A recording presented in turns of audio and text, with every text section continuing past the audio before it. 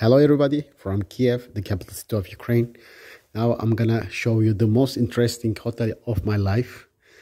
Uh, I am here, first of all, I want to say I am here more than three weeks in Kiev. I flight from Izmir, Turkey. And I stayed in many different hotels and many different part of Kiev because I want to just experience many different places, different hotels, different atmosphere. So now I am here.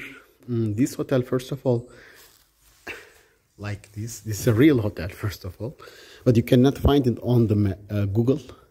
I don't know why, really. It's hard to understand. Maybe they just changed the name because in hotel name is is different than uh, on Google, maybe. So I am the only one person here in this hotel with my in my room with my e-bike here. Uh, this guy is just working here, uh, not staying here. So I am the only one person uh, in this hotel, and like three days, it's three days I'm staying in here uh, for three days, and the situation is same. The reception is, is very beautiful, very lovely. Three ladies, uh, the ages are more than 70 years old. Really, it's not joke. I don't know where are they, but they are like 70 years old. This is the reception you can never speak with them if you are not here. So this is the hotel. It's me. This is a perfect this is a perfect hotel. This is all its the numbers and yes it's great something great.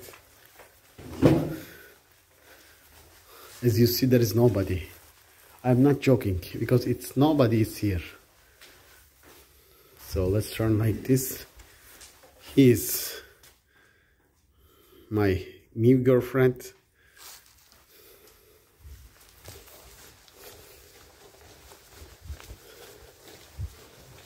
Привіт. Привіт, привіт.